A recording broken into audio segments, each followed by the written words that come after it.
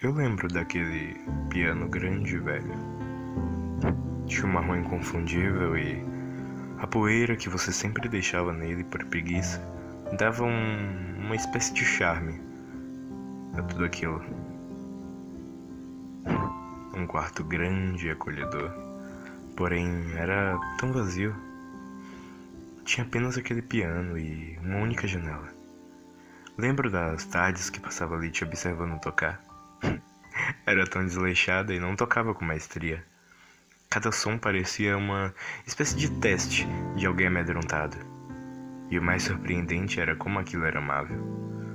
Como aquele som simples de notas aleatórias fazia eu te admirar por horas e horas. Como aquilo apertava meu peito.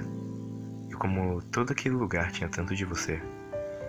Era um quarto empoeirado, vazio, porém adorável cada pedaço dele, cada canto empoeirado, cada brisa que passava por aquela janela, cada suspiro com uma nota indesejada depois de várias repetições. Mas, acima de tudo, como você sorria sempre, fazia com que teus erros se transformassem em algo tão belo. Que sorte eu tive de poder te ver.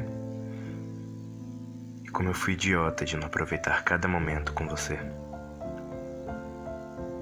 Hum. E agora eu sinto falta.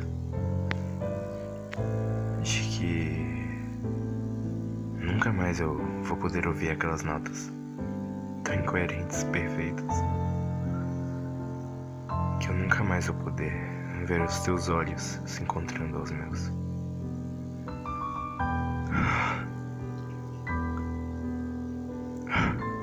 Se eu pudesse te ver de novo, eu te colocaria em frente àquele velho piano novamente. E sentaria junto com você enquanto observaria você tocar. Com cada detalhe seu. Livre. E finalmente feliz.